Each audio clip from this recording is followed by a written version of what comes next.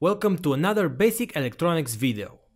Today we will take a look over the Wheatstone bridge, how it works and why we use it. This is a very common and simple circuit based on resistance values used with sensor applications. Combine this with an operational amplifier and you will get a good sensing circuit.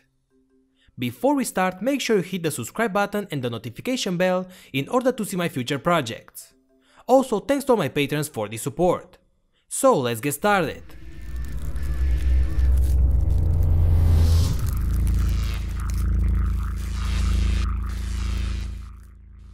This video is sponsored by JLCPCB, which upgraded their factory so now they can offer 5 pieces of common 2-layer PCBs with a production time of only 24 hours, and that without any additional fees. So for that, prototyping become faster than before, but for the same low price. Upload the Gerber file, select the PCB settings, and order high quality PCBs for a few dollars. What's up my friends, welcome back. Okay, so what is the Wheatstone Bridge? Well, a good definition would be that it is the most common and simplest bridge network used to find resistance values. We use this configuration to detect very small resistance changes and that could be used with sensor applications. We convert resistance changes to voltage changes and that is very useful. This is the configuration of this bridge. We have 4 resistors in the shape of a diamond. We know the value of 3 resistors, but the fourth one is unknown. The supply voltage is connected to points A and B, and between point C and D we will later measure the voltage drop, so we need a voltmeter. So here's how this works. Between the points A and B we have two voltage dividers. One divider is made by R1 and R2, and the other one is made by R3 and the unknown resistor. Using the voltage divider formula, we get that the voltage on point C is R2 divided by the sum of R1 and R2 and multiplied by the input voltage. And the voltage on point D is Rx divided by the sum of Rx and R3 and multiplied by the same input voltage. So the voltage drop between C and D is the voltage on C minus the voltage on D, and that is equal to this. But what we are looking for is a balanced bridge and that is when the voltage between C and D is equal to 0. So if we imply that the voltage CD is equal to 0, we get that the voltage on C is equal to the voltage on D. That means that one divider is equal to the other divider value, so let's clean a little bit this equation. The V in value is on both sides, so we can delete it. Now we cross multiply and we get this. We pass all the Rx elements to one side, and we are left with this we know that Rx R2 minus R2 Rx is equal to 0. So we get that R2 R3 is equal to Rx R1.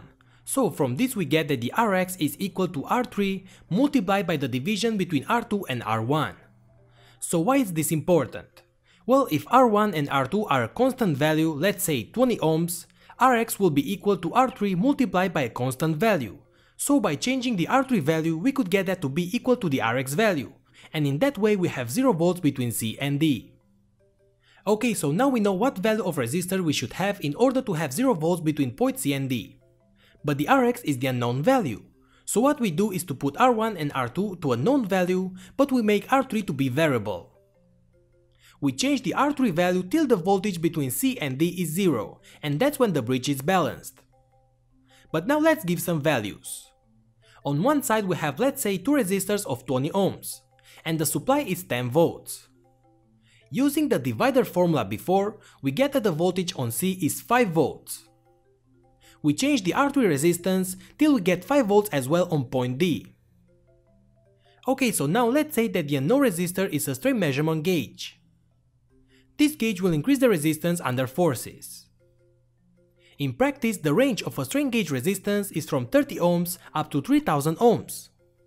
For a given strain, the resistance change may only be a fraction of the full range. Therefore, to measure a fraction of resistance change with high accuracy, the Wheatstone bridge configuration is used. Right now the bridge is balanced, so we have CD equal to 0 volts. So now we apply force on the gauge, so the resistance is getting bigger, so the voltage drop on the gauge is now bigger as well. Let's say that the gauge is now 35 ohms. So the voltage on point D would now be 6.36 volts. so the voltage between C and D is negative 1.36 volts.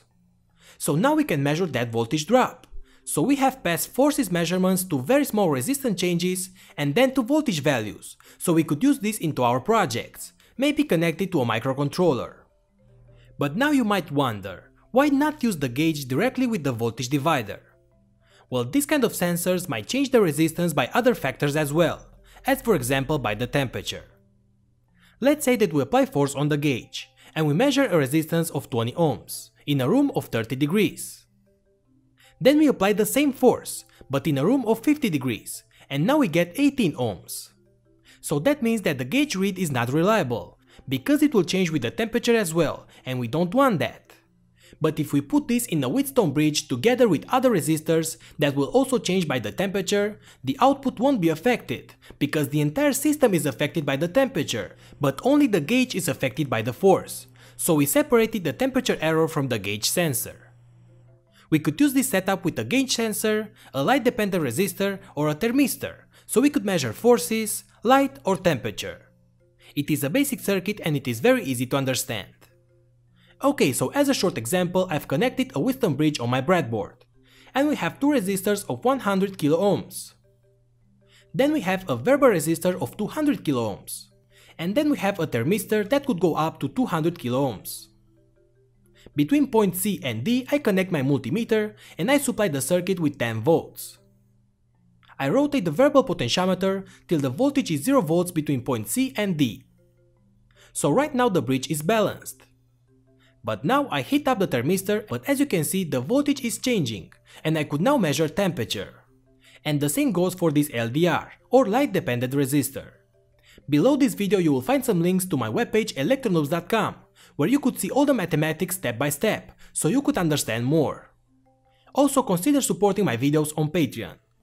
If you enjoyed this video make sure you subscribe and activate the notification bell for future videos. Also click the like button like crazy and share this video with your friends. And remember that your help on Patreon means a lot for me and we'll keep this kind of videos going. So thanks again and see you later guys.